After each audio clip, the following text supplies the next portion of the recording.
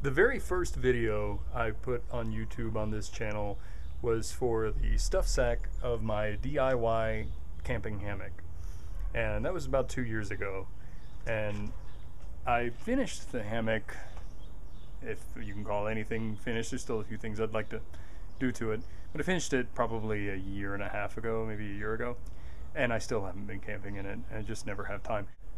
So tonight, the Misses of All Trades and I decided to do a little stealth camp in our backyard, and uh, thought I'd share with you how I feel about the uh, the hammock uh, once I've slept in it overnight. Um, I've slept in it before, but not as a complete system with the the uh, bug net and the underquilt. So let me show you what I got. So every part of this system I made. Uh, the straps that suspend the hammock.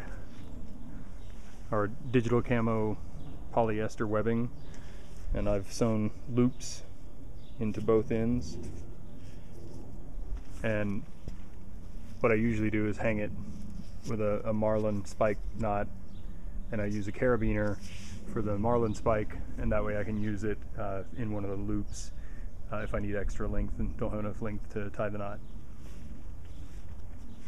and I've got a uh, Dutch clip up there, Dutch clip or Dutch hook, I can't remember, uh, for both ends. the tarp uh, is a silicone impregnated nylon, and I bordered it in camo grosgrain just because I thought that would be fun. The uh, underquilt is an Insultex underquilt, uh, really lightweight uh, insulation. And it's uh, silicone impregnated nylon on the bottom and then uh, just a ripstop nylon on the uh, inside.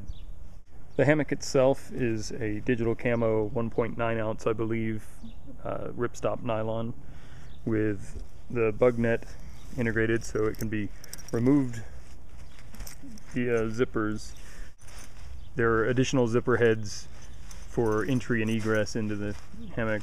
So there's three zipper heads on this side and then the other side just has one uh, for the removal. The suspension for the hammock is uh, slings that I made out of AmSteel, uh, which is a specialized kind of rope you can Google if you want to know more about AmSteel.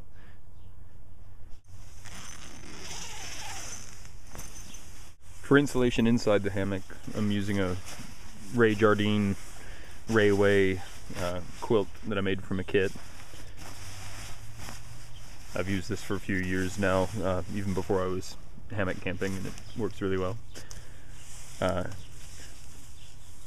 I think my second video on YouTube was making this uh, Ridgeline bag, and I'm still using that. When the tarp's not being used, it gets secured in these uh, no-seam mesh snake skins. These are a really easy uh, first time sewing project if you're looking for something to get started with and if you have a tarp. Uh, it's just a, a, cone that you make out of the uh, mesh.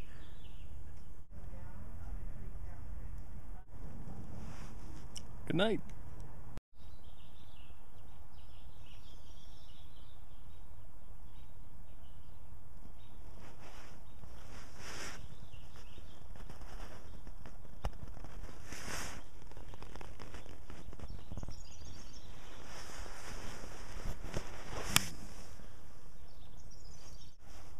Well, I can report that uh, I slept pretty well, and uh, I didn't have any weather to test the uh, tarp or anything, but uh, I would say that uh, this project was successful so far. I've sewn a lot of things over the last few years, and I still look at this and am kind of uh, shocked by what I made myself. It's kind of cool. So.